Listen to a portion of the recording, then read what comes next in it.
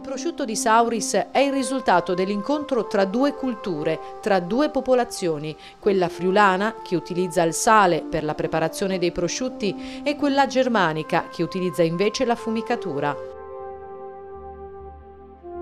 La dieta dei suini destinati alla produzione deve avvenire secondo un rigoroso disciplinare. Gli ingredienti previsti sono esclusivamente il sale, il pepe e l'aglio, sono vietati conservanti. La leggera fumicatura viene ottenuta in maniera naturale, utilizzando esclusivamente legno di faggio. Stagionato per almeno 10 mesi, è riconoscibile grazie al suo profumo tipicamente dolce e dalle cosce.